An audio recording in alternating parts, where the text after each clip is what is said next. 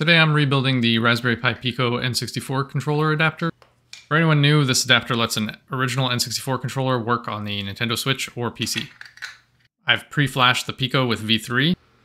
I'll get started by soldering the wires to the connector itself, since that's the more annoying part. I'm going to start by wiring the red wire to the leftmost pin when you're staring into the port with the flat side down. Then blue to the middle pin and black to the rightmost pin. I'm using red for plus 3.3 volt, blue for data, and black for ground.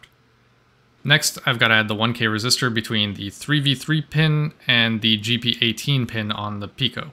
I threw a piece of Kapton tape just to prevent any shorts. Now for the final wirings, I'll solder the red wire to the 3V3 pin, the blue to the GP18 pin, and the black to any easy to reach ground pin. With that all done, the controller should be good to go. Now I'll plug the Pico in over USB and test with an actual game from my Steam library.